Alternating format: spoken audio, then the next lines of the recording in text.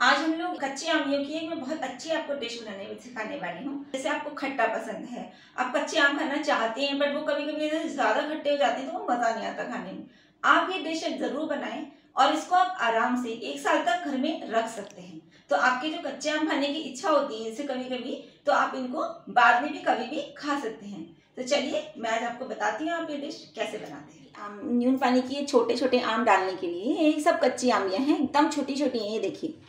ये इस साइज़ की ही आप आम लें बिल्कुल इससे भी छोटे अगर आपको मिल जाते हैं, इससे भी जैसे इतने छोटे छोटे तो ये और ज़्यादा टेस्टी लगते हैं। अब इस बात का खास ध्यान रखना है कि इनके अंदर जाला पूरी तरह पड़ चुका होना चाहिए, केवल बीज वाली आमियों का आप ये बिल्कुल ना बनाएँ, वरना ये टिकेगा नहीं।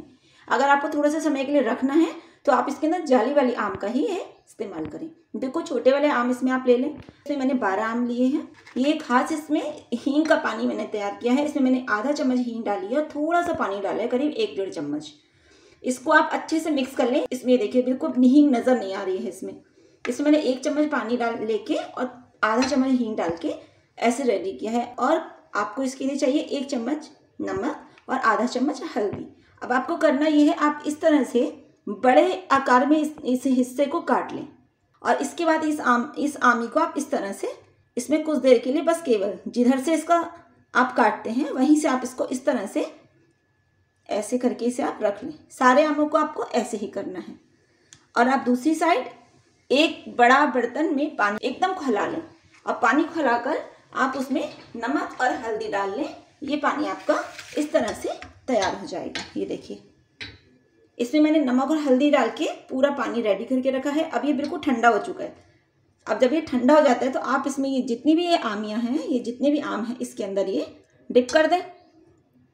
और ये आम इसके अंदर आप डिप करके किसी कांच के बर्तन में या तो फिर आप किसी प्लास्टिक के हैवी जार में इसको भर दें और ऊपर से इसका मुँह कपड़े से बाँध दें।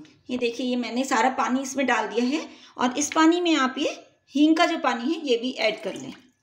सारा पानी इसमें ऐड कर दें। अब ये सारी जितनी भी आमियाँ हैं, ये आप इसके अंदर, जितनी कच्ची आमियाँ ये आपने बनाई हैं, इसके अंदर डालते जाएँ। मैंने ये कांच का जार लिया है, अगर आप चाहें तो इसमें प्लास्टिक के जार को भी इस्तेमाल कर सकते हैं। ये देखिए, ये आपके सारे आमियाँ इसके अंदर बिल्कुल फिट आ गई है। अगर आपके पास छोटा जार है या आप ज़्यादा बना रहे हैं तो आप बड़ा जार इस्तेमाल करें। कोशिश करें कि इसके लिए आप बिल्कुल ऐसा जार लें जिसके अंदर ये ऊपर तक पानी भर जाए और आमियाँ उसके अंदर अच्छे से डूब जाएँ।